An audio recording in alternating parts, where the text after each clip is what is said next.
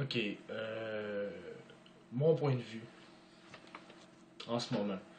Euh, c'est en fait les gens ils militent beaucoup pour, euh, ben, contre en fait, euh, les augmentations des frais scolaires. Euh, je suis plus aux études, donc vous allez me dire que ça ne me regarde pas. Je suis totalement d'accord, mais j'ai un point de vue euh, par rapport aux réactions de certains gens qui sont contre ceux qui militent. Je m'explique. Pour commencer, euh, j'ai une image qui est sur mon Facebook, c'est un site, là. c'est comme un monument historique de la guerre où je te fous pas quoi. Il y a beaucoup de militaires, beaucoup de gens qui sont outrés de voir que les étudiants ont euh, collé des petits carrés rouges là-dessus. Je suis totalement d'accord. Je dis pas que c'est un geste qui est totalement euh, intelligent, mais c'était pas, c'était pas pour mal faire. Nos ancêtres militaient pour le droit, pour défendre leur cause.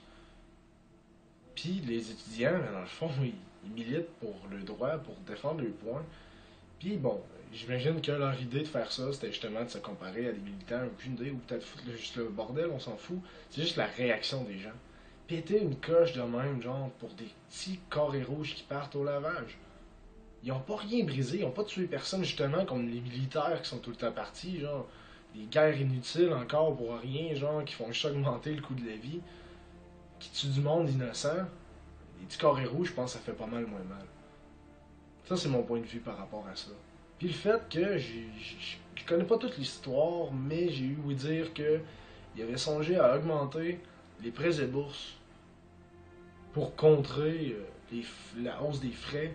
Euh, je sais pas si vous vous rendez compte, mais ça, c'est se faire. euh, se faire pencher, genre, dans les deux sens du terme, dans les deux côtés. Là. Ouais. T'augmentes les frais, tu mets du cash dans tes poches.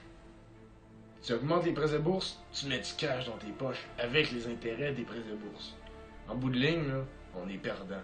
Pareil. Probablement qu'il y a beaucoup de gens qui vont fermer le gueule justement parce que euh, les prêts et bourses, il y en a beaucoup qui vivent là-dessus. Ils sont capables de rembourser puis tout. Mais en bout de ligne, en ce moment. Vous dites, ah, ils perdent le temps à militer, ils devraient aller étudier à la place, retourner étudier, vous perdez. euh,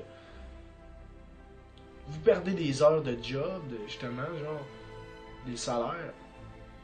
Peut-être. Mais si tout le monde reste assis, à se fermer la gueule sur tout, tout le temps, on va se faire avoir, on va se faire pencher en tous les sens, tout le temps, sans rien dire. On va la prendre, puis on va aimer ça. Un exemple, le prix du gaz. On peut pas rien faire, mais on se fait avoir de plus en plus. Ça plus d'allure, ça monte, ça monte, ça monte, ça descend même plus. C'est parce qu'à un moment donné, là, coût de la vie augmente, puis les, les salaires suivent plus. Rendu qu'il faut que tu sois riche pour avoir un moteur 2 litres, là, quasiment. J'exagère un peu. Vous comprenez. Prix du gaz, la bouffe, euh, peu importe. Tout, tout, partout. Faut même payer de l'air à cette heure pour gonfler ses pneus, tu sais. On se fait avoir partout, puis on reste assis. Les autres, ils se sont levés. Ça va peut-être changer de quoi ou pas, c'est pas ça qui importe, mais au moins, ils vont pouvoir avoir la fierté d'avoir essayé de s'être levé pour essayer de se battre contre la hausse des frais. Je peux donner l'exemple de l'intimidation. Si on reste assis, ça va nous suivre toute notre vie. Mais si on se lève puis qu'on essaie de se battre contre ça, ça va peut-être faire un changement. Mais moi, ce que je retiens de ça, c'est que ça marche ou pas.